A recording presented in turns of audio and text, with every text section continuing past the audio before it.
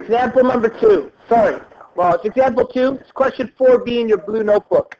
They're giving you triangle P, Q, R, and they told you that it's similar to triangle STU. Did I write those backwards? Oh, I did. P, Q, R. And it is similar to triangle STU. Okay? So, first of all, quickly looking at this, I can see that I have two sides where I actually have the measurements for, so I can make a ratio out of those two. In fact, those can be my K factor. Now, in all of these triangles, it's important to realize that the ratios are going to be the same. So the ratio of ST to PQ will be equal to the ratio of SU to PR, which will also be equal to the ratio of TU to QR. So what I mean by that is, let's write them in their colors here. ST divided by PQ is equal to SU divided by PR which is also equal to TU divided by QR. If you were to get the lengths of all these sides and divide them, you'll end up with the exact same number. In other words, the ratios are all the exact same. Okay, that's very important. When we go to set up, this is another way we can set up the question. So if you guys notice in example one, I showed us one way we could set up the scale factor. Another way we could set this up is by plugging in values we have for these. So if you notice, we actually have the values of some of these. So for instance, ST, I have the value, 36. Value of PQ, no idea. So we're calling it small r. Value of SU, don't know. It's just T. Value of PR is 15. And the value of TU is 27. And the value of QR is 9. It's 9, right? Yeah.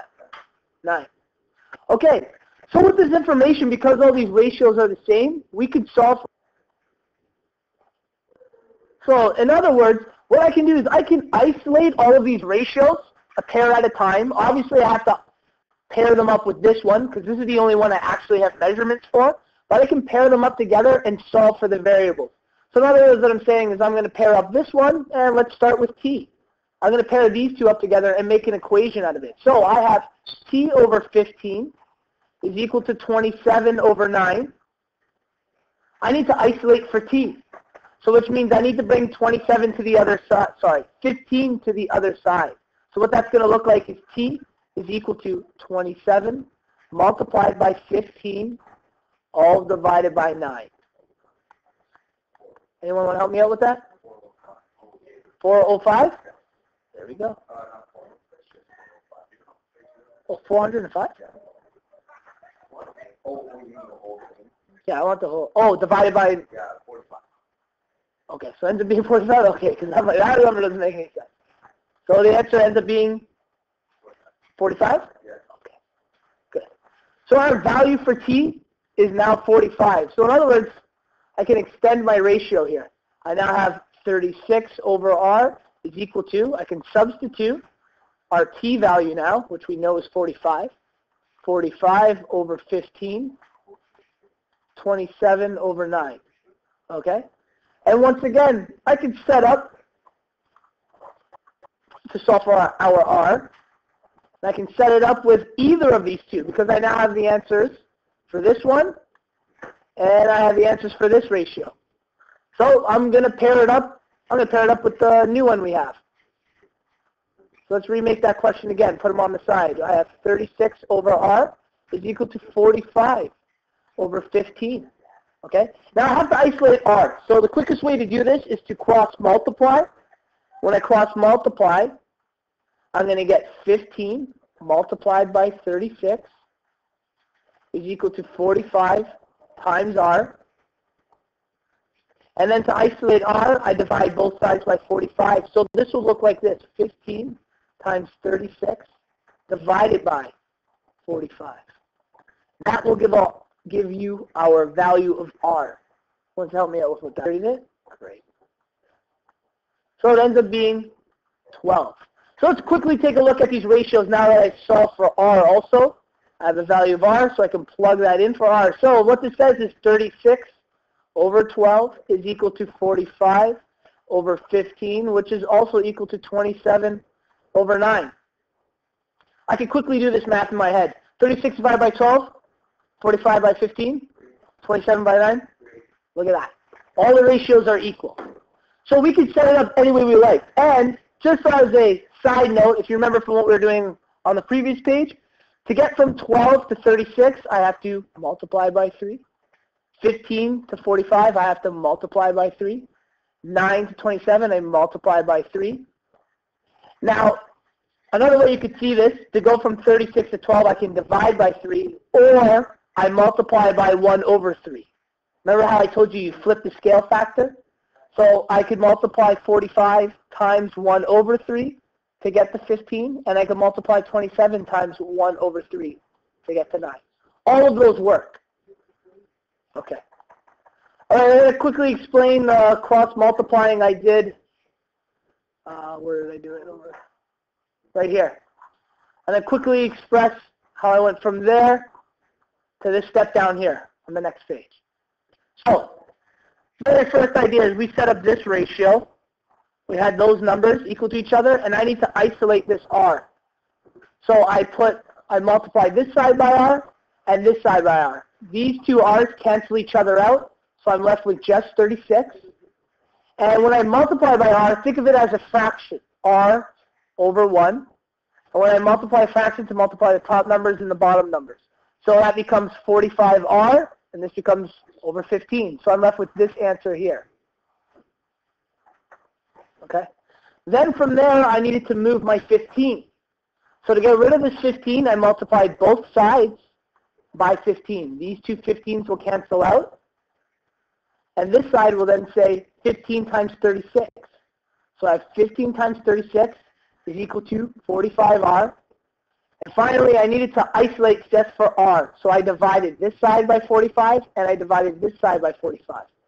These two 45s cancel each other out, and I'm left with r is equal to 15 times 36 divided by 45. And in the end, it was, what, 12? 12 yeah, 12. So there's a lot of steps there in the cross multiplying. Another way I could have done this is it's always easiest. Right now, see the variables on the bottom. And somebody asks, well, what if I just brought 36 to the other side? Well, it would have looked like this. I would have been left with 1 over r equals 45 divided by 15 times 36. I'm not looking for 1 over r. I'm looking for just r. And I would have had to flip that, a little more work. So a fast way I could have done this is I could have taken the 36 over r is equal to 45 over 15 and flipped both ratios. If I put r over 36 is equal to 45 over 15, now my r is on the top of the fraction, okay? And this is all fine as long as I flip both of them, and I bring the 36 to the other side. So what it will become is 45 times 36 divided by 15 is r. If you punch that in your calculator, you will get 12. That's the fast way to do this. You can flip both of the ratios. There's many ways you can solve this. We have to be good with fractions in order to do all this stuff, though. Finally, example three. Now, there's one more rule I haven't shown you guys with the factors. They're asking for the area, okay? We need to find the area of this triangle here. I can definitely find the area of this triangle here. The rule is, when we have similar triangles, the area of, we'll call the first triangle ABC, and they call the other triangle CDE. The ratio, so the triangle, area of triangle ABC divided by the area of triangle CDE is equal to our scale factor squared. Okay? So in other words, first of all, let's find the area of our CDE, because I can. Area of triangle CDE, area of the triangle is half times base times height. And if we quickly look, here's my base, here's my height. Remember, the height of the triangle runs through the middle. Okay? So 1 times 1.4. So in other words, I have 1 half times my base is 1 times my height is 1.4. This is going to be 0.7 kilometers. Is the area of triangle CDE. Okay? Now I got to find the area of the other triangle. There's two ways you could have done this. I can find the scale factor, and I know that I multiply by 3, which would give me the height of this triangle here, ABC. Because I need to know the height of this in order to figure it out to solve for this triangle here. Okay, so first of all, I need to find the scale factor. If I look at this triangle, this one's easy to notice. The length of CD is 1 kilometer, and we know AB corresponds to that, and it's 3 kilometers. So our scale factor is what, guys? 3. So we know that K is equal to 3. Okay? If K is equal to 3, I can rearrange this whole formula here. So let's rewrite it down here. Area of triangle ABC, which we're trying to find, over area of triangle CDE is equal to k squared. Well, I know k is equal to 3. I saw my scale factor. And we discovered the area of triangle CDE is what? 0.7. So let's plug those numbers in. I can plug 3 in for k, and I can substitute this value for 0.3 or 0.7. So area of triangle ABC divided by 0.7 is equal to 3 squared. Now I need to bring 0.7 to the other side so I can isolate for area of triangle ABC. So this becomes 3 squared times 0.7, which is 9 times 0.7, which is 6.3. There we go. So, according to this quick way, the area of triangle ABC, which is this guy here, is 6.3 kilometers. That's our area squared. Make sure we know that. The area of this one is 0.7 kilometers squared. 13 minutes? Good. Let's just double check. We know through our scale factor that the height of this is 1.4, and our scale we discovered is 3. So if I take 1.4 times 3, that'll give me my new height of this similar triangle. So what is 1.4 times 3? Anyone know? 4.2. Is that right? Okay. So let's try to find the area of ABC just to verify. So triangle ABC is equal to a half. The base is 3. The height was 4.2. That's going to be 1.5 times 4.2. Someone quickly solve that in a calculator for me. 6.3. So I could have done this two ways. I could have found the scale of a similar triangle, figured out the height, or I could set it up the way we had it with our ratio. Area of ABC divided by area of CDE is equal to K squared. Either way is fine to solve for this. So let's just quickly go over everything we did. Okay. So those are two triangles. We set up our first ratio with our rule areas of each triangle are equal to the scale factor squared. And we check just to make sure by solving using our similar triangles. You guys have any questions about that?